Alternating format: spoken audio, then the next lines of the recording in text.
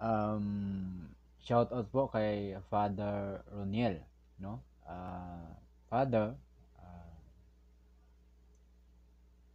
sana ay nasa mabuting kalagayan ka at uh, sana ay um, lagi kang masaya, no? Uh, kasi mahir uh, hindi madali na lahat nakadepende sa sitwasyon. Kasi kung pinagtagpo kayo sa maling pagkakataon.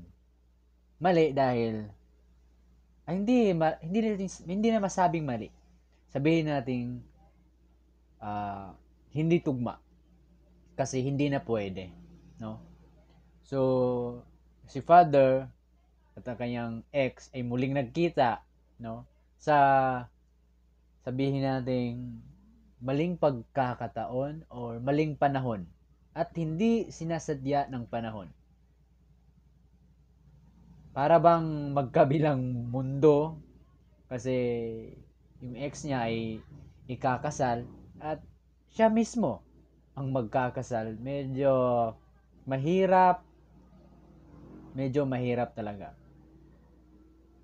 Nakita ko yung uh, video at uh, patawa-tawa si Father Ronel.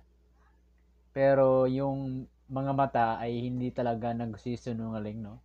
Medyo makikita mo talaga kung ano yung laman ng kanyang puso't isipan mga kaibigan. Kaya Father uh, sana ay uh, kasi alam ko eh kung ano yung nararamdaman mo Father. Uh, sana ay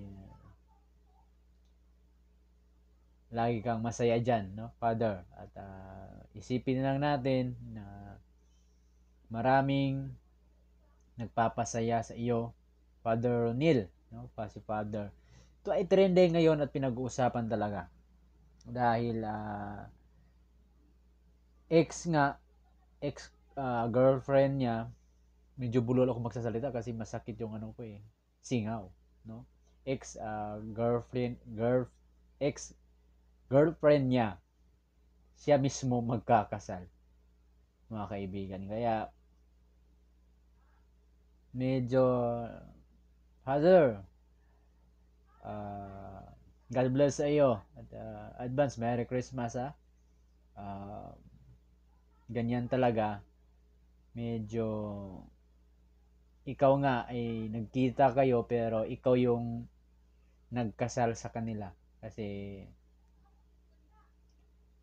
yun talaga ang kantadhana siguro niya. Lahat naman tayo, tayo eh. Tayo ang gumagawa ng ating tadhana. Yun lamang po at uh, maraming salamat. Uh, maraming salamat. God bless sa inyo. Salamat po.